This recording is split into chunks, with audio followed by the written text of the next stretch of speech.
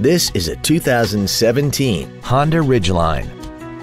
This truck has an automatic transmission and a V6. All of the following features are included. A low tire pressure indicator, leather seats, fog lamps, an anti-lock braking system, aluminum wheels, and daytime running headlights.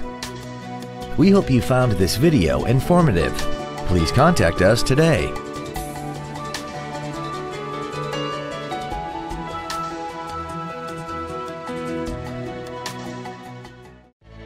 Wilde Honda is located at 7333 South Tamiami Trail in Sarasota. Also shop GoWildeHonda.com. It's got to be wild.